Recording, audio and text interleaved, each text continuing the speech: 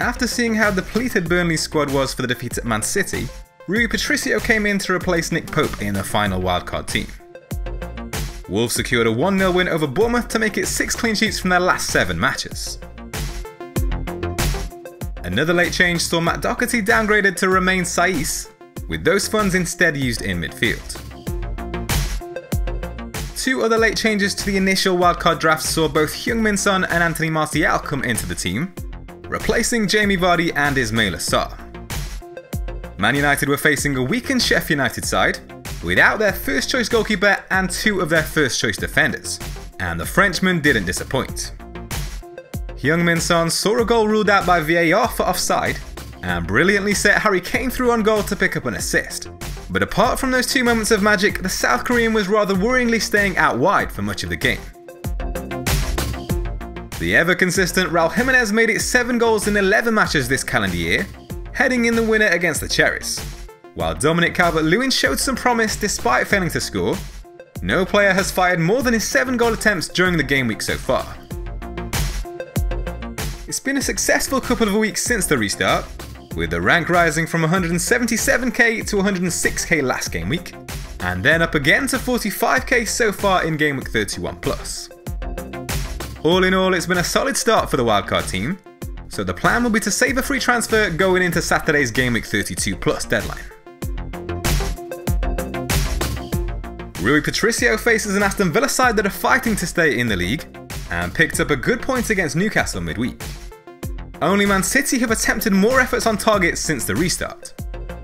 But Wolves have allowed just 4 big chances in their last 6 matches, fewer than every other team. Only Man United have matched Wolves' tally of just 2 goals conceded in their last 6 matches, and they face a Brighton side that have scored just 4 goals in that time. Only Norwich have fared worse. Alexander Arnold has picked up 2 goals and 5 assists in 8 matches against the current top 6 teams, returning an average of 7.6 points per game.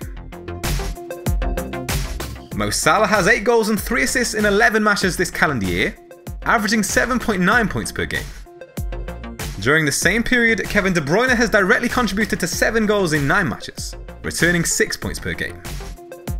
Since Bruno Fernandes arrived in the Premier League, no player has scored more goals than Anthony Martial, with 6.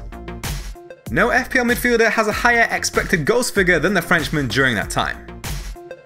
Since Mourinho took charge of Spurs in Game Week 13, Heung-min Son has directly contributed to 11 goals in 13 matches, averaging 6.1 points per game. Sheffield United have shipped 6 goals in 3 games since the restart, conceding a league high total of 9 big chances, but will be boosted by the return of Dean Henderson and John Egan. Dominic Calvert-Lewin has picked up 47 points during this calendar year, only beaten by Aguero and Raul Jimenez amongst FPL forwards.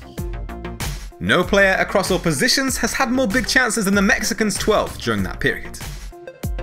Everton have started slow since the restart, scoring just once so far, but only 5 teams have attempted more shots on target.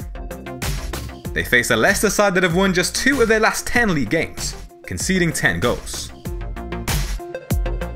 It looks to be a tough week for captaincy, with Pierre-Emerick Aubameyang perhaps the most appealing big hitter on paper, at home to Norwich.